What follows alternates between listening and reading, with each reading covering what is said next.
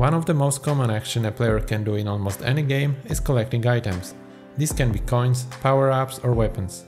In this tutorial I will teach you how to implement collectibles with a simple inventory for your next game.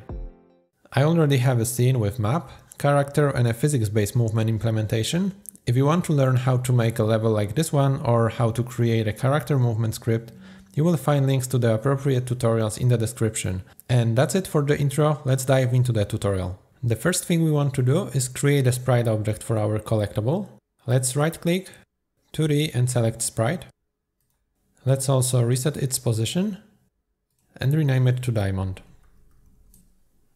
I will then select a diamond image for the sprite property and position this object a bit closer to the character. We also need to add a collider component to it, so let's click on add component and search for the box collider 2D. Let's also select is trigger checkbox. This way the player object will not bounce off the diamond and still will be notified about the collision. I will now duplicate the diamond object, rename it to heart and update the sprite. And I will also move it a bit to the right. Now it's time to write some code. Let's create a new script. I will name it collectible and let's open it. We can remove the start and update methods. I will define a new variable. It's gonna be private bool is collected. This variable will serve us as a safety check. We want to be sure that a given object can be collected only once. I will go ahead and add a collect method. It's gonna be public bool collect. I want this method to return true if the operation was successful and false if the item was already collected. So let's write if is collected, then return false, and then is collected is true. Next we want to remove this object from a scene, so let's write destroy and pass the game object, which is a reference to the object holding this script and in the last line we want to return true. Now we can go back to the Unity and let's create two more scripts. The first one will be diamond collectible and the second one heart collectible. The reason for that kind of implementation is because later on we will need to distinguish between the collectibles we collided with and that's one of the ways to do it. So let's first open the diamond collectible script. We can get rid of the start and update methods and all we want to do is replace the mono behavior with collectible. This way diamond collectible will be a subclass of collectible. Then let's move on and do the same with the heart collectible script.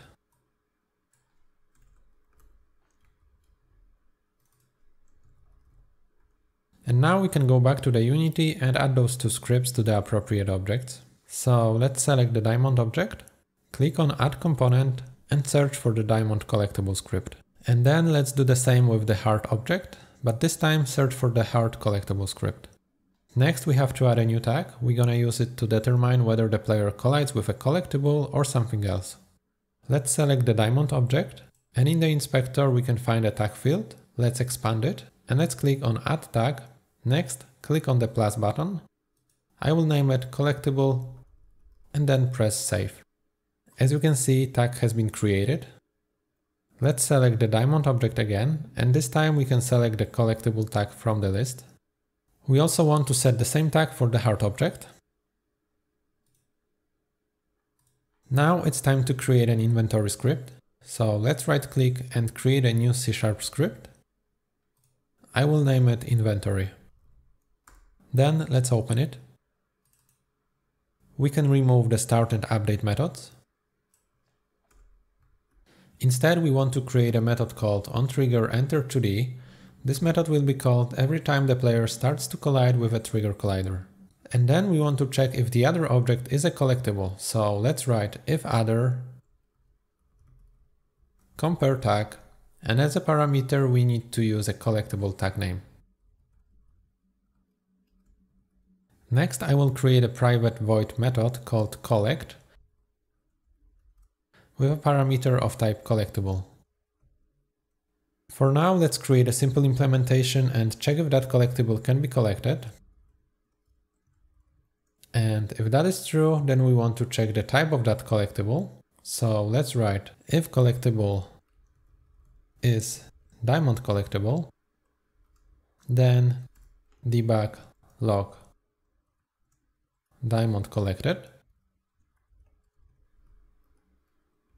Else if collectible is heart collectible, then debug log hard collected. Now we can go back to the onTrigger method and invoke collect with a collectible component and we access it using getComponent method.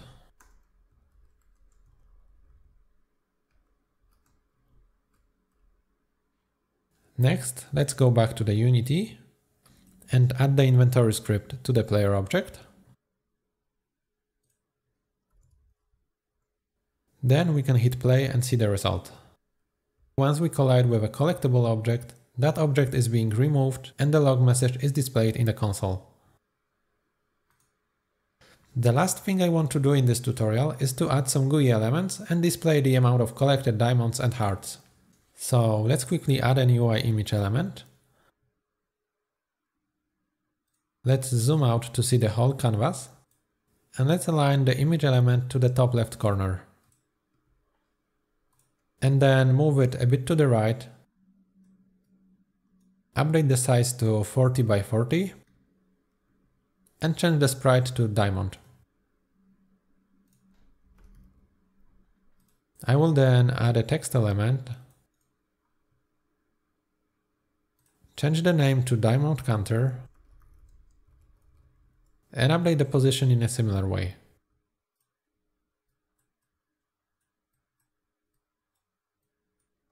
I will also update some text properties to make it look a bit better. Then I will go ahead and duplicate these two elements, move it to the right, change the text element name to heart counter, and update the sprite image to heart.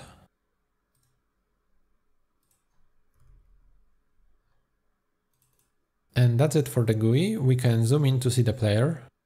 Now let's open the inventory script. And first we need to import the Unity Engine UI. And then declare two variables. The first one public text diamond counter and the second one public text heart counter.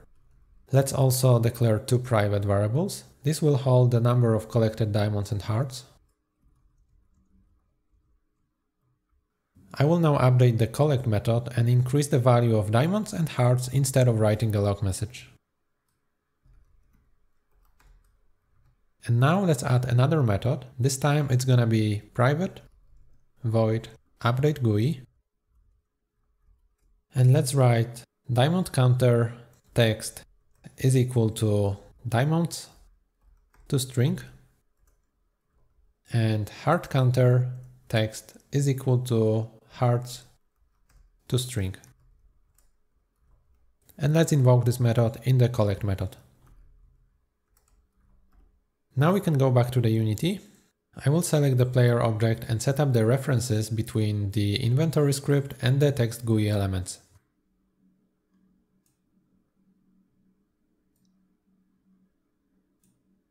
Let's also duplicate the diamond and the heart object to have more than just one of each type in the scene.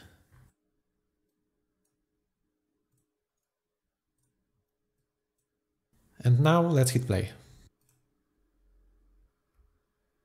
As you can see, the counters are updated once we collide with the collectibles. That would be it for this tutorial. If you like it, please leave a comment below, subscribe, and I hope to see you in the next video.